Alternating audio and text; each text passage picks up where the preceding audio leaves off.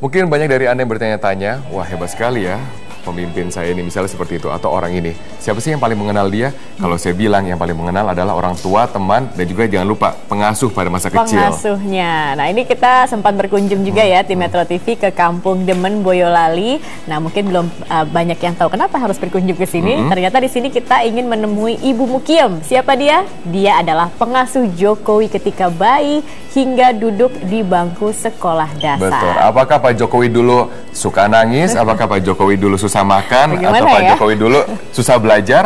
Nah, kita akan lihat kisahnya berikut ini.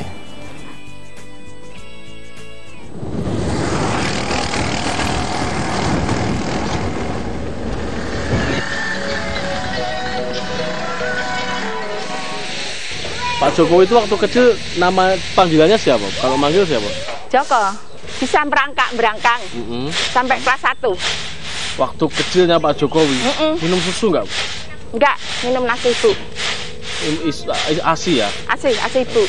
Kalau orang Jawa kan dulu sering minum tajin ya. Pak Jokowi minum nggak dulu? Enggak, enggak enggak. minum tajin. Susu ibu. Susu ibu. Makanya suka enak sekolah sate lontong legen. Legen kayaknya bubong ngerti mbatan ya. zaman dhisik.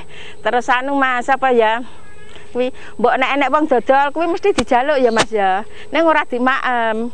Beli aja gitu. Mm -mm, beli aja, nggak dimakan lho Mas. Biar makan ya ah susah kok Mas kalau beliin itu apa? Jenang hmm. di golekne sing enak ya nggak mau. Sing nggak enak ya saya nah nggak mau tuh leh terus napa lo dolani karet karet gelang itu karet gelang terus dolani wedi kalih napa napa kaleng sendok itu menang nggih ta menang terus nek baratus Mas aku seneng banget ning awake kurung kadang-kadang tak tangisi ya Mas ya aku iso mbrebes ayo le maam sithik-sithik le dan lemu awake awake kok kuru anu apa kuwi nek jongkati tak anu kaya jungkatan ngene iki lho Mas. Miring. Miring. Kaya jungkatan iki pli kae. Lah kok bagus ngono. Cilakne bagus Mas. Terus anu Mas apa ya? Nek ngomong kuwi tak sampai ngendi ya?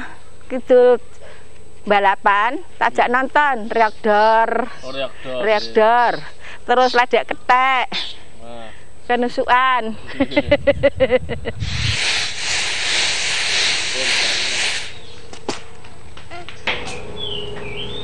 dalam dulu Mbah ngira nggak Jokowi jadi wali kota Solo nggak ngira mas nggak ngira nek jadi wali kota kan dek bangsa nih ngoten-ngoten itu disik zaman disik lho mboten kita mboten seneng ngeten deh seneng banget bangga ngomongane dadi wali kota ya mas ya bangga seneng ngomongane dadi wali kota disik kalau nek ngutang dadi dokter terus jadi wali kota terus jadi gubernur terus nikah dadi presiden. Seneng banget, Mas. Nggih. Nggih pesesuk dolan teng Jakarta nggih boleh ngoten nggih, Mas, kula ngoten. Nggih. Disangoni mboten jenengan. Oh, anggere mantuk ngoten tinggal ke ibuke ya, Bu Noto. Oh. Paring ngarta nggih. Nggih jajan kan nggih jajan ngoten. Nggih, kula ngoten matur nuwun, kula ngoten. Mriki, Dek, mriki. Mriki, Dek, mriki. Mriki kan Mbah. Ini sini. Mas Jaka Jeng ben nek dadi presiden sing sae nggih Mas Jaka nggih. Ampun likaliku, ampun korupsi sing turut dalan cara mlakune.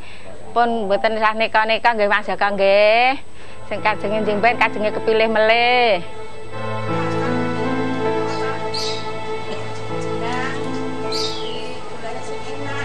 Nggih, itu katanya. Jadi kalau jadi presiden ojo neko-neko. itu dia nasihat dari pengasuh mm -mm. Jokowi untuk calon presiden ini ya.